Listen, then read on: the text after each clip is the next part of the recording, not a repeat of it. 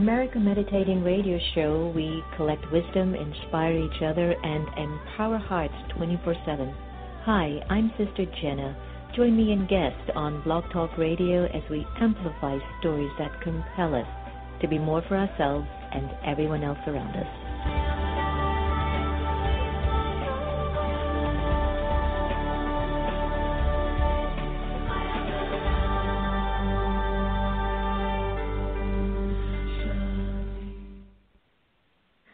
Everyone. This is Sister Jenna from the America Meditating Radio, and I'm excited to introduce to you Meditate the Vote. It's going to be a national campaign, and what we're asking for all of you to join us with is to raise the bar of conversation.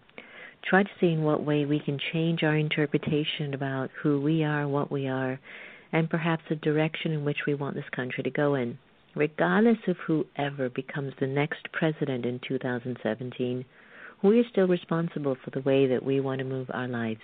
So, could you join me and an alliance of friends around the country to meditate the vote? Go to americameditating.org, press on Events, Meditate the Vote, and you'll be able to get a whole bunch of information. So, join us because I, Sister Jenna, meditate the vote. Write thank you notes. Tell the truth all the time. These motivating thoughts from Randy Pausch's last lecture remind each of us to live our dreams. Be creative every day. Take a fun trip. Motivation. Pass it on from the Foundation for a Better Life at Values.com. Do you like to meditate? Have you tried to meditate? Have you struggled with meditation? Why don't you visit one of the Brahma Kumaris Meditation Center? Visit brahmakumaris.org. Blaylock Dialysis Center is a convenient state of the art dialysis center in the Houston area, run by Dr. Panakin Patel. Relax in a comfortable environment while receiving quality care. Serving adults 18 to geriatrics, we are here to help you. Call 713 463 6611 for more information or visit us at our website at www.blaylockdialysiscenter.com. Blaylock Dialysis Center, where helping you get well is our priority.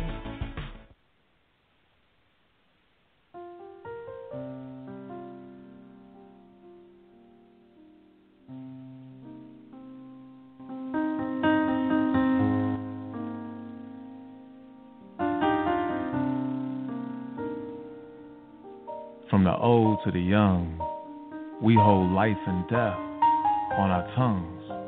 Buried there within the warmth of our breath lies our outcome. In comes thoughts that are hung by our mainframes. It seems that the same things we stitch on our inseams is seen in the seams our words paint. We spit fire, blow off steam, become things that we ain't. Our words either build, heal, or obliterate. Our words lift us, break us, paint us, stain us intention is written, spoken, our hearts are either healed or broken. Often we lose to the contest of context.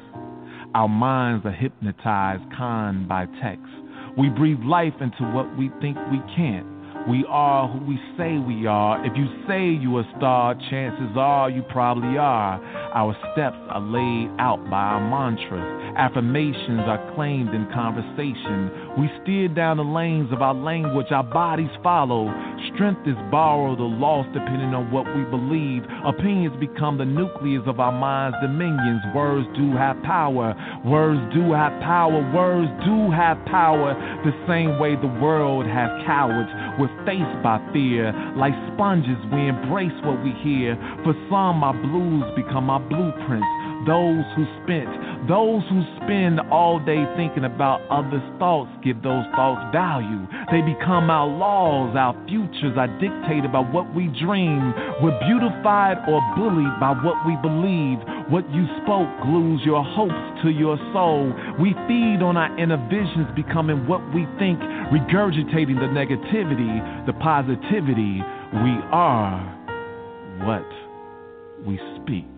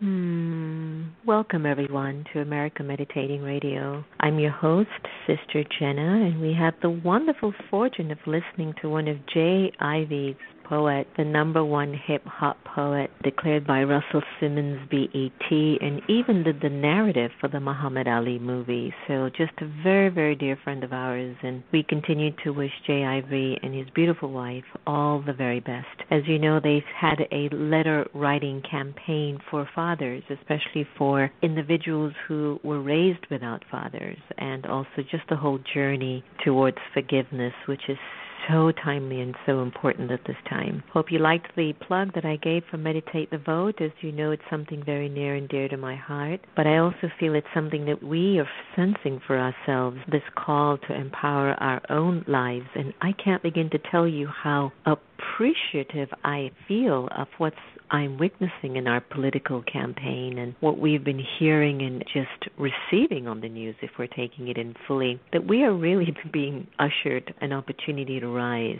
and we are no longer going to perhaps just make excuses for whatever's happening in the world, but right now we're the ones that have to step up. Each one of us individually have to check ourselves to see to what extent I'm being true I'm being sacred and I'm honoring my journey and my own path. And what better of a conversation am I going to have than with my incredible brother, Stephen Dinan? Stephen Dinan is a noted social entrepreneur and visionary political strategist and the founder and CEO of the Shift Network. It's a leading global provider of online transformational courses and trainings, and he was previously a senior staffer for both the Institute of Noetic Sciences and the Esalen Institute. Stephen is the author of Radical Spirit Spiritual Writings from the Voices of Tomorrow, and his new book, where we had the fortune of hosting Stephen at the Meditation Museum just recently, his new book called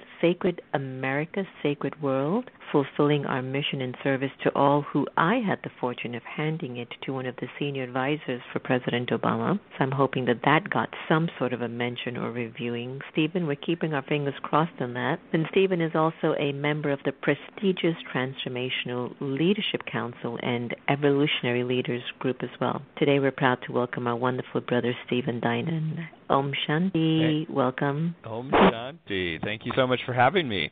You're welcome. You know, I'm excited because I know I'd gotten an email about the book and I wanted to know how is it doing so far. I mean, it's got to have been a huge learning curve to be having this book out at this particular time. Yes, well, you know, I don't have the final sales stats, but I think it's done pretty well this month, and, and I think most importantly, I feel like is the reception it's gotten. I've had so many people, including radio hosts who are kind of old, you know, grizzled veterans of the political scene, saying it's the most hopeful book they've seen in years, or most important book they've seen in years. And you know, I've had so many people write me just saying how much it's touched and moved them and opened them in different ways. So the thing with the book is, you know, people don't read as much these days, but when they do, it's yeah. such it can be such a transformational journey. And so I'm really just heartened by the number of people who have been touched and moved to get more engaged and to engage politics in a way that's more evolutionary. Exactly. You know, well, maybe it might be food for thought to put it into an audio format because it's true. People are running, exercising on the go, and they just want to listen to things now. And I think it's a powerful read, as you know that already. You say that America has a sacred purpose, and you know, we usually go to India or we go to Bali or we go somewhere to find our own sacred calling. And here, Stephen Dinan is saying, but America has a sacred purpose purpose. Can you educate our listeners and what is that purpose?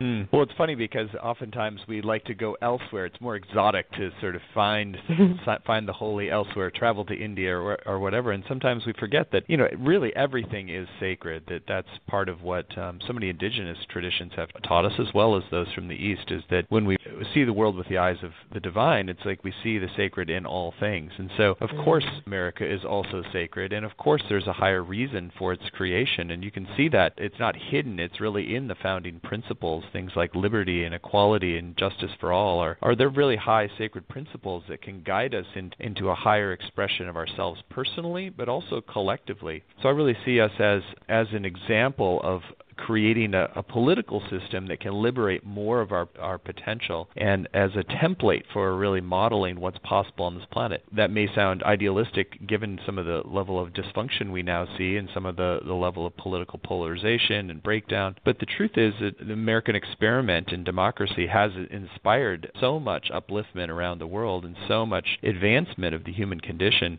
and now it's really our opportunity to go to the next level of that. And so uh, breakdowns are, are also opportunities for breakthroughs to another level. So with all, this political season is is definitely one of the most contentious, most divisive, most wildest mm-hmm. rides, frankly, that we've ever seen. And it's also an opportunity for us to shake out certain of the old ossified patterns and really go to another level. So that's part of why I wanted my book to come out this year to chart a pathway to that next possibility, what I call America 7.0, which is a, a, truly global operating system, one where we have the foundation of sacred reverence for all, that we apply that in the political arena, and we also activate our service to the larger whole of planet Earth. So the phrase e pluribus unum in many ways mm-hmm. encapsulates so much of that next evolution is out of many one. So when we're we're leading towards more oneness, towards more unity, towards more of a unification, not just for America but for the world, that is ultimately connected to this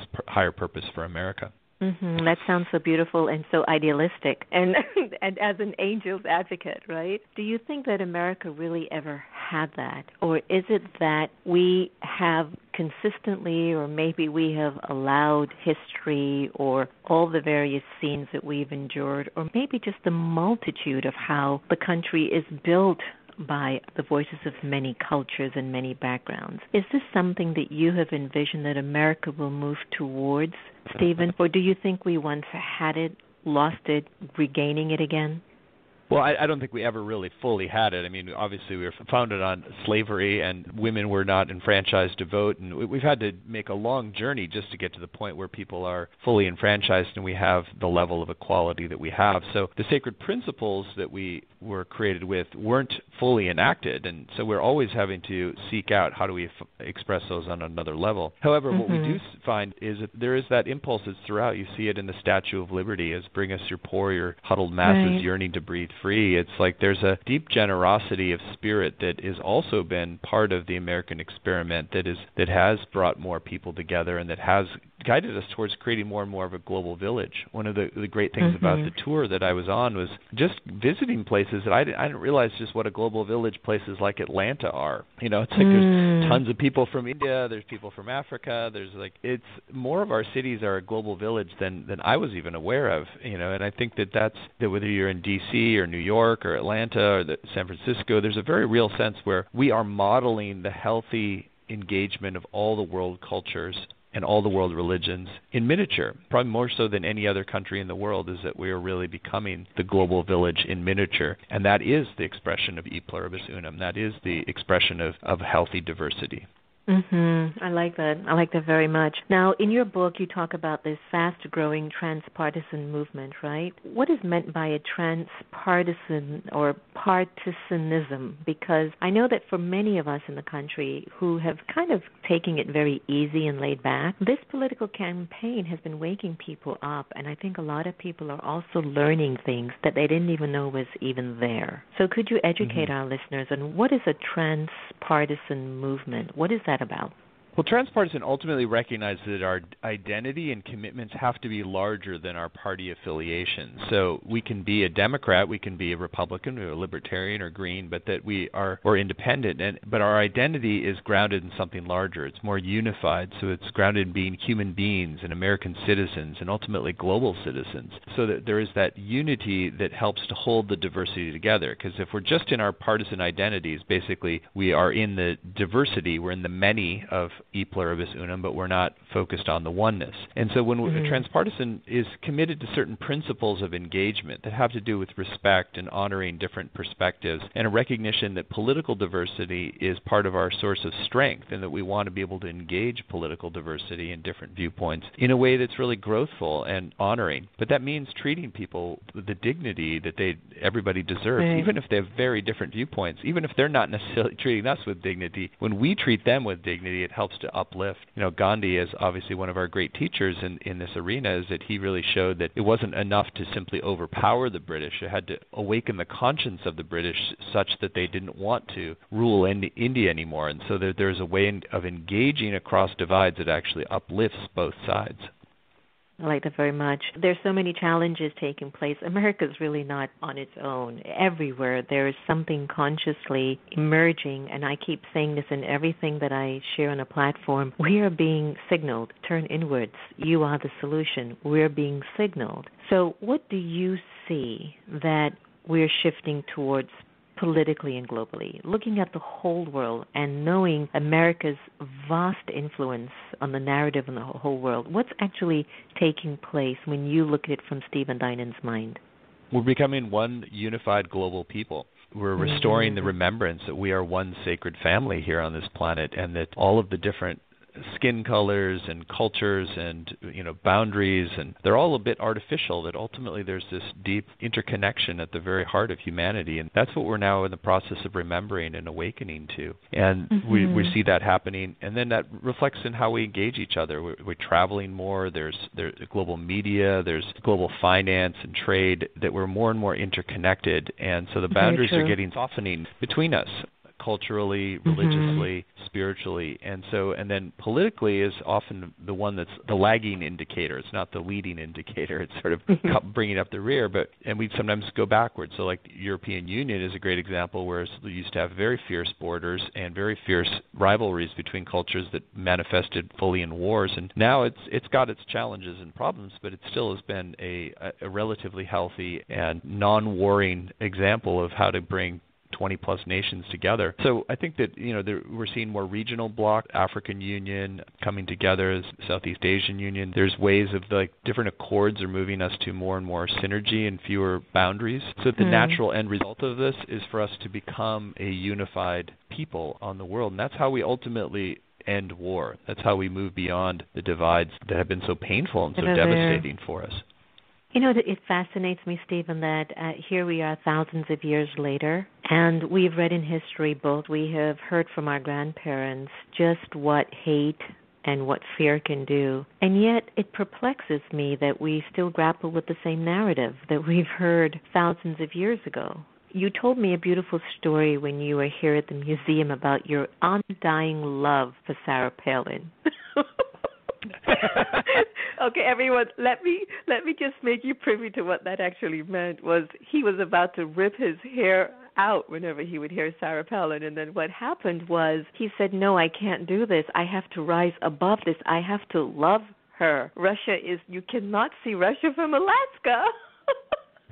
and so, you know, what I'm saying is that you have been through your own process, right? You've witnessed, you know, being very engaged in the country and wanting to see a difference. And when you see the leadership emerging and you feel like, oh, come on, do not take us for fools, do not take advantage of us, you say that you're a progressive who has learned a lot from conservative values. But what are some of the lessons that you've taken away from across the aisle now? Because you've had to open up yourself more to going beyond the limitations of some of these these yeah. leaders that we're witnessing today. Tell us a little bit about that. Well, I think there, there's all sorts of things, lessons to be learned. I, I feel like being willing to make more conservative decisions about finances, for instance, and being less, uh, you know, at times needing to be more contained and more disciplined about finances. That was something that didn't come early, come easy to me. I wanted to have like everything's abundance and flow, and and you know, and, and launching a business. It's it's good to learn that easy, sometimes yeah. sometimes not spending money is better than spending money, and that you have to have um, some cash reserves, and you have to sometimes be circumspect about whether things are really going to work out. So there's a certain level of judgment, sort of having a having a certain level of conservative quality and temperament that can be helpful as a right. leader of an organization. And I think that there's also a way of also respecting certain boundaries with um, you know to give an example like that's more a little further out is like in our circles there's a lot of people who experiment with what's called polyamory in uh, in California where these people you know don't have just a monogamous connection they experiment with opening up to other people and mostly you see train wrecks coming out of that. And so there's a way in which uh, more conservative value system and conservative morality and committing to somebody for a lifetime and having the discipline around that and the, there's a beauty and power in that and I think that this sometimes the free flow of energy and experimentation can sometimes lead to destruction too. And so, mm-hmm. you know, I, I like to go to a thing like Burning Man, but you know, it's not how, necessarily how we build a healthy church. It's like it's a it's a balance of this kind of free flow of more more artistic, experimental kind of energy, and then the kind of the commitments and the you know the rigor and and the, for instance, raising children. I think it's very beautiful to have just a really solid moral foundation on which to grow up. And so, you know, I think that I there's that. there's important truths in the conservative value system there. And I think that you know, in general, I, there's a wisdom that we have to preserve the best of what's gotten us to where we are. So in our society, mm. it's like we Say want to honor again. our there's a wisdom in preserving the absolute best where we've gotten us to where we are. Beautiful, so in our beautiful. Culture, in our culture, it's like conservatives are often focused more on preserving law and order and societal institutions and traditions and lineages, and, those things really, it's you know we're, we're building upon the past. We're not just overthrowing the past. And sometimes progressives can get a little willy-nilly about just you know throwing the whole thing out and saying we got to rewrite all the codes of who we are, and, and that's not actually necessarily how evolution happens best. So there's a way of honoring tradition, honoring our lineages, honoring the social structures and rules and order, and working within the system to evolve it rather than just saying. Brilliant. Stephen, if you were president, what would you do to shift the state of the country? well, I think there's a bunch of things structurally I go into the book. So I, I feel like we do need to get the money out of politics. You know, we need a constitutional amendment to get uh, overturn Citizens United because there's very much uh, a sense of which you know political leaders want most of them are getting in there because they wanted they want to be of service to the greater whole but the system has become right. so distorted and there's so much focus on raising the money that it's required to stay in power that that it has an intrinsically distorting effect so we'd have to shift that mm-hmm. have to shift around the the um, shift around the whole gerrymandering and have a, like a really objective, perhaps even computer generated process of decide on congressional districts rather than putting turning it into a political football. That's also creating a lot more mm. unnecessary polarization and bogging down the country. There's, Great idea. I think those things those are some structural changes that need to happen. There's also just I would refocus the mission of the of the United States to make it really explicitly about creating a world at peace. And the reason for that is it's a more unifying and aspirational and positive mission for us versus conducting a war on terror, which mm. can, you know, military engagement to protect and prevent terrorism, I think is a viable use of our national military. However, if that's the focus and we're not focusing on the larger mission, which is to create a world at peace, then we're not necessarily doing those things that help to seed the long term shifts and changes that do create a world at peace. And truth is, most people in the military, they ultimately want to see a peaceful world as well. So we're just lifting the aspiration and putting the focus on that and bringing in more of the peace building work that is, is central to really shifting things in the long term. So I'd mm, say Beautiful. that I would say that implementing a what I call a carbon responsibility fee it would be really helpful as a global thing because it basically accelerates innovation in the direction of lower impact, you know, averting climate change. So it's like if there's a fee that goes back into green innovations and things that offset carbon, then as a national level we could drive innovation in that sector much more quickly and move towards a new world. So I think there's shifts in banking system. Eventually, I would love to see us dissolve the federal Federal Reserve System and really create a, mm-hmm. United States public bank that basically is funding infrastructure and print and you know creating the money supply and is, and funding the infrastructure of this country, but the profits of that accrue to the American people rather than right now the American people pay money pay interest on the money that is created by a pri- essentially a private interest. And so there's some things that need to happen on on those levels as well. So there's a lot of shifts that are required and it's not right. the easiest necessarily to move these things forward but i think that if you activate the the vision of what wants to happen and show that there's actually more possibility in left and right to come together on some of the structural shifts that can free up our democracy then i think that we could really get some traction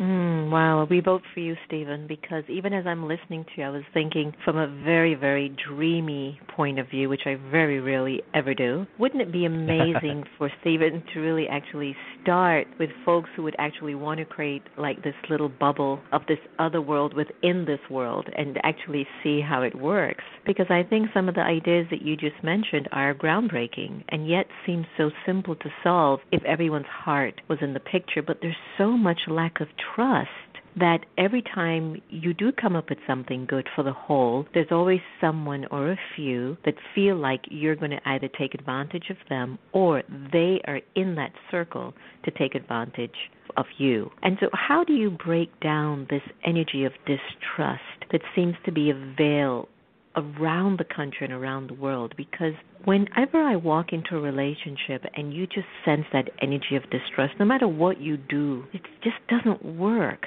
But whenever you and another folks like your team at Shift Network and all the other things that you're doing, there's just that trust factor. Stuff just happens. I see that with my team because there's such a trust energy here. We just make things work. But if there's one person that we feel like, wow, be careful, red mark, it just breaks in. It, it makes everything stop or it slows down. Is there anything that you could offer our conversation as we get to a close? What can we do to build more trust in ourselves and in the country? Well, that's where this whole principle of political cross training comes in. It's like, first of all, mm. to recognize where do our biases come in instead of blaming the other to say, okay, how is it that I'm showing up in a way that might diminish trust? So I was on a mm. panel in, in, in Cleveland at the Purple Tent with Grover Norquist, and we were talking about gun issues. And so what was most revelatory for me was the, just the extent to which the Second Amendment proponents and people on the right, and he's a member of the NRA, don't trust the liberals around this issue. And, and the assumption assumption is that liberals are just saying one thing, but underneath they really just want to confiscate guns. And so there's mm-hmm. this kind of deep distrust. And so, you know, I was just listening to that and saying, like, how do we actually get in there? And some of it is through listening, through respectful engagement, through shifting our from seeing people as bad people that are out to get us to to people who ha- are sincerely motivated by what they see as is going to really be helpful to our country. And so when we can do that on a personal level, I did the, my whole, you know, deprogramming around really disliking or hating uh, Sarah Palin to a place where I could really really embrace her in my heart. You know, I think that all of us have to do some of that work. And so when I this summer when I traveled to the Republican National Convention and the Democratic National Convention, it was partially as an exercise for me to be able to fully embrace and not polarize against Republicans. Mm-hmm. And so I think that when we do that in our own heart, it opens up more portals to for collaborative engagement. It can happen just in a marriage, it can happen in a family, it can happen in a community where we just take the time to instead of spouting our opinions to take a deeper listening to and when we do engage we engage thoughtfully with, with respect and with honor, and then when, that helps to soften. Because the, the thing most people are, react to is being disrespected on a deeper level, and there's a reason for that spiritually. When somebody acts towards us in a way that is disrespecting our fundamental identity, we don't want to take that in because it actually programs a sort of a negative self-conception mm-hmm. in us. So, so we we naturally armor up. So yeah. how are we being judgmental or diminishing, disrespectful, and then uh, and to you know not we have to give ourselves cut ourselves some slack because we're coming out of a culture that's very much doing that all the time. So we don't want to judge ourselves for for what we're doing, but just noticing. It's like where am I really demonizing people and where am I diminishing them in some way? And that's going to be exactly where it's hard to break through. So if we have to we have to do the internal work to shift that to restore that sense of oneness and respect. And then I think when we engage from that place, a lot more can happen. So I can be on a panel with Grover Norquist and be genuinely curious of how do we make some shifts in the gun debate in this country. And you know, we can do this on a on a personal level by having living room conversations with people of very different political perspectives or family level, and to start with the deeper listening and to share our own opinions as our own opinions, not as facts, but as our own perspective, and to do so with with respect for the other. Brilliant. Brilliant, brilliant. Stephen Dinan, thank you so much for joining us on the air today. I could talk to you for ions, but before I let you go, where can we find information on the book and are there any upcoming events that you've got happening on the Shift Network?